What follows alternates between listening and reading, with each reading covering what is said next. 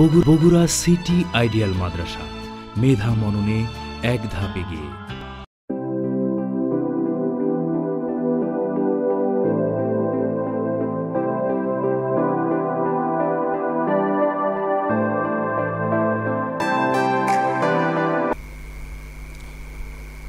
বিসমিল্লাহ রহমান রহিম। আসসালামু আলাইকুম ওরহমতুল্লাহ সুপ্রিয় ছাত্রছাত্রীরা, আশা করছি মহান রব্বুল আলমিনের অশেষ রহমতে তোমরা সবাই ভালো আছো, সুস্থ আছো। প্রিয় শিক্ষার্থীরা, পরীক্ষার পূর্ব মুহূর্ত অর্থাৎ দ্বিতীয় মাস, মাসিক পরীক্ষা তোমাদের হবে পঁচিশ তারিখে। তার আগের ক্লাস তেইশ তারিখে। তোমাদের আজকের এই ক্লাসে যোগদানের জন্য তোমাদের সবাইকে জানাচ্ছি অভিনন্দন এবং শুভেচ্ছা। সুপ্রিয় ছাত্ররা, আজকে আমার ক্লাস হলো class five.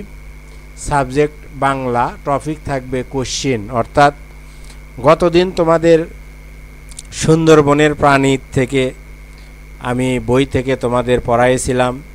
সেখানে তোমাদের শূন্যস্থান ছিল শব্দ অর্থ ছিল, সেখান থেকে তোমরা বাক্য তৈরি করেছ। প্রিয় শিক্ষার্থীরা, আজকে যেটা তোমাদের জন্য হবে, এই সুন্দরবনের প্রাণীর থেকে তোমাদের কিছু প্রশ্ন ইম্পর্টেন্ট যেটা, তিনটা প্রশ্ন আছে এই গল্পের। এই তিনটি প্রশ্ন আজকে আমি তোমাদেরকে পড়াবো। প্রিয় শিক্ষার্থীরা, চলো দেখি তোমাদের সেই প্রশ্নগুলোর দিকে। এখানে তোমাদের যে বইটা দেখা যাচ্ছে, অর্থাৎ বাংলা বই, এই বইটা তোমরা বের করবে। এবং সুন্দরবনের প্রাণীতে গিয়ে দেখো, তিনটি প্রশ্ন আছে। এই প্রশ্নগুলো তোমরা আয়ত্ত করবে। প্রিয় শিক্ষার্থীরা, এখানে দেখতে পাচ্ছ, প্রশ্ন নম্বর দশ, অর্থাৎ গাইডে তোমাদের প্রশ্ন নম্বর দশ দেওয়া আছে। সেজন্য এখানে উঠছে প্রশ্ন নম্বর দশ। দেখো, দেশের জন্য পশু পাখি, জীবজন্তু কি উপকার করে তা নিজের ভাষায় লিখো। অর্থাৎ একটা দেশের জন্য পশু পাখি এবং জীবজন্তুর উপকারিতা কি, না থাকলে কি হবে? সেটাও একটা কথা এবং প্রশ্ন আছে। আর থাকলে কি হয়, কি উপকার সাধিত হয় আমাদের, এটা একটি মানে গুরুত্বপূর্ণ প্রশ্ন। এখানে দেখো, দেশের জন্য পশু পাখি, জীবজন্তু কি উপকার করে তা নিজের ভাষায় লিখো। এখানে উত্তর উপস্থাপনা, প্রাকৃতিক পরিবেশে অনন্য বাংলাদেশ, প্রাকৃতিক সৌন্দর্যের অন্যতম প্রধান উপাদান হলো পশু পাখি, জীবজন্তু। এরা দেশের অনেক উপকার করে। দেশের জন্য পশু পাখি, জীবজন্তু যে উপকার করে, দেখো, দেশের জন্য পশু পাখি, জীবজন্তু এক অমূল্য সম্পদ। এরা পরিবেশের অবিচ্ছেদ্য অঙ্গ। পরিবেশের ভারসাম্য রক্ষায় এরা যথেষ্ট ভূমিকা পালন করে। জীবজন্তু ও পশু পাখি শুধু পরিবেশের ভারসাম্যই রক্ষা করে না, বরং তারা বিভিন্নভাবে আমাদের উপকারও করে। গোশত ও দুধ দিয়ে আমাদের খাদ্যের যোগান দিয়ে থাকে। সুমিষ্ট কণ্ঠ ও সুমধুর স্বরে গান গেয়ে আমাদের আনন্দ দান করে। মানুষের পক্ষে যা ক্ষতিকর সেসব আবর্জনা খায়, শকুন খায় এবং পরিবেশকে পরিচ্ছন্ন রাখে। তাহলে দেখো, পরিবেশের ভারসাম্য রক্ষার জন্য পশু পাখি, জীবজন্তুর অবশ্যই প্রয়োজন আছে। দেখো, জীবজন্তুর মধ্যে যদি আমরা ধরি রয়্যাল বেঙ্গল টাইগার, তোমরা ওখানে গল্পে তোমরা পড়ে এসেছ, যেটা সুন্দরবনে দেখা যায় এবং আমাদের বাংলাদেশের জাতীয় পশু। এই রয়্যাল বেঙ্গল টাইগার যদি বনে না থাকতো, আমাদের বনজ সম্পদ যেটা, সুন্দরবন, এটা উজাড় হয়ে যেত। অর্থাৎ যারা কাঠ কেটে খায়, এরা দেখো, চুরি করে করে বন থেকে গাছগুলো কেটে নিয়ে বাজারে বিক্রি করত।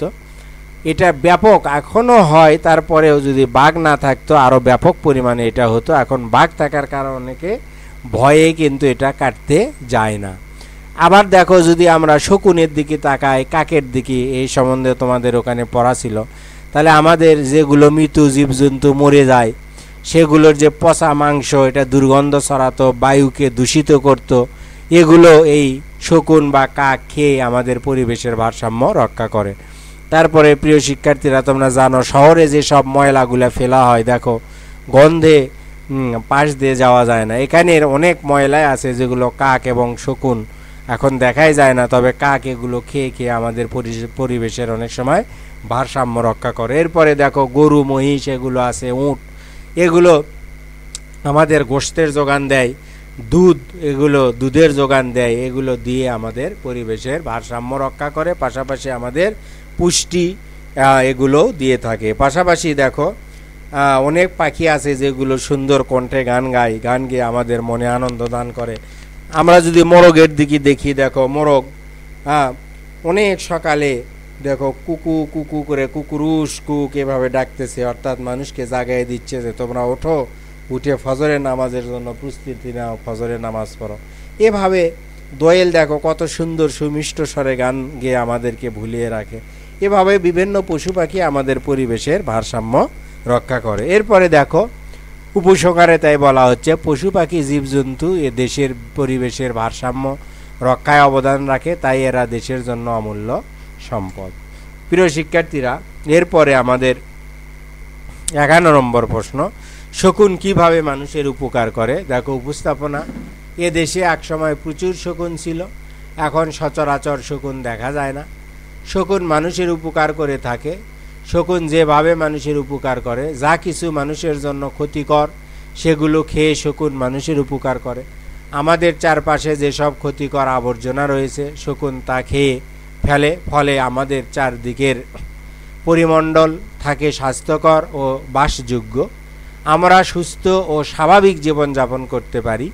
উপসংহার, শকুন ময়লা আবর্জনা খেয়ে পরিবেশের উপকার করে, তাই শকুনকে উপকারী প্রাণী বলা হয়। তাহলে এর আগেও আমি প্রশ্নে তোমাদের উত্তরে বুঝিয়ে দিলাম যে শকুন আমাদের পরিবেশের বিভিন্ন পচা বাসি খেয়ে আমাদের পরিবেশের ভারসাম্য রক্ষা করে, আমাদের পরিবেশ থেকে বায়ু দূষণ রোধ করে। প্রিয় শিক্ষার্থীরা, তোমরা শকুন দেখেছ কি না জানি না। আমরা কিন্তু মানে ছোট অবস্থায় শকুন দেখেছি। আর ধরো, গ্রাম্য এলাকায় যে গরু বা মহিষগুলো বিভিন্ন অসুখে মারা যেত, সেগুলো মানুষেরা তখন আসলে পুঁতে না রেখে যদিও পুঁতে রাখাটাই স্বাস্থ্যের জন্য সবচেয়ে ভালো। তারপরেও মানুষেরা পুঁতে না রেখে এগুলো তোমার মাঠে ফেলে দিয়ে আসতো। এরপরে জানি না কীভাবে শকুনগুলি খবর পেত। বহু শকুন আসতো এই গরুর মাংসগুলি ছিঁড়ে ছিঁড়ে খেয়ে শুধু কঙ্কাল, হাড্ডি করে রেখে এই শকুনগুলো চলে যেত। এতে করে পরিবেশের ভারসাম্য, পরিবেশের দূষণ অনেকাংশে রক্ষা হয়েছে। প্রিয় শিক্ষার্থীরা তাই শকুন আমাদের জন্য বিভিন্ন ধরনের উপকার করে থাকে। এরপরে আমাদের বারো নম্বর প্রশ্ন যেটা দেখো, যে পশু পাখি, জীবজন্তু না থাকলে প্রকৃতির কি বিপর্যয় ঘটবে বলে তোমার মনে হয়? যদি পশু পাখি না থাকে, জীবজন্তু না থাকে, তাহলে পরিবেশের কি ধরনের বিপর্যয় হতে পারে? দেখো, যে বিপর্যয় ঘটবে, এই পশু পাখি এবং জীবজন্তু যদি না থাকে, তাহলে পরিবেশের যে বিপর্যয় ঘটবে, কি ঘটবে? যে কোনো দেশের জন্য জীবজন্তু, পশু পাখি, অমূল্য সম্পদ। এরা প্রাকৃতিক পরিবেশের সঙ্গে মিলেমিশে থাকে। প্রকৃতির থেকে এরা যেমন খাদ্য সংগ্রহ করে, তেমনি প্রকৃতির বিস্তারেও সহযোগিতা করে। পশু পাখি, জীবজন্তু পরস্পর নির্ভরশীল বলে এরা। এর কোনো একটি না থাকলে পরিবেশের ভারসাম্য নষ্ট হবে। তখন প্রকৃতিতেও বিপর্যয় নেমে আসবে বলে আমার মনে হয়। সৃষ্টি হবে বন্যা, খরা, ঝড় ইত্যাদি প্রাকৃতিক বিপর্যয়। যদি পরিবেশে এই জীবজন্তুগুলো না থাকে, তাহলে পরিবেশের কি হবে? ভারসাম্য নষ্ট হয়ে যাবে। তাহলে দেখা যাবে আমাদের দেশে অনাবৃষ্টি, অতিবৃষ্টি, যখন বৃষ্টির প্রয়োজন নেই, তখন বৃষ্টি হবে, যখন বৃষ্টির প্রয়োজন, তখন বৃষ্টি হবে না। যখন শীতের প্রয়োজন নেই, তখন শীত হবে, যখন শীতের প্রয়োজন, তখন শীত হবে না। এভাবে আমাদের প্রাকৃতিক যে বিপর্যয়গুলো এই বিপর্যয়গুলো নেমে আসবে। তাই আমরা কি করি? এই পরিবেশের রক্ষার জন্যই মূলত জীবজন্তু এবং পশু পাখি আমাদের থাকা দরকার এবং পশু পাখি, জীবজন্তু পরিবেশ থেকে যেন এগুলো বিলুপ্ত না হয়ে যায়, এজন্য আমাদের সার্বক্ষণিক চেষ্টা করা, সার্বক্ষণিক কাজ করা আমাদের বড় প্রয়োজন। প্রিয় শিক্ষার্থীরা, তাই তোমরা এই প্রশ্নগুলি হোমওয়ার্ক হিসাবে অবশ্যই ভালোভাবে দেখবে, এ প্রশ্নের উত্তরগুলো ভালোভাবে পড়বে এবং এটা লিখবে, এই তিনটি প্রশ্ন পড়ে নিবে, তারপরে তোমরা এই প্রশ্নগুলোর উত্তর খাতায় লিখবে যেন তোমাদের সমাপনী পরীক্ষায় গিয়ে এই প্রশ্নগুলো ভালো করে উত্তর তোমরা অবশ্যই লিখতে পারো। প্রিয় শিক্ষার্থীরা, তোমরা এই প্রশ্নগুলির উত্তর ভালোভাবে লিখবে পড়াশোনার মধ্যে ব্যস্ত থাকবে। এই আশাবাদ ব্যক্ত করে আজকের মতো এখানে তোমাদের অনলাইন ক্লাস শেষ করছি। আল্লাহ হাফেজ। আসসালামু আলাইকুম।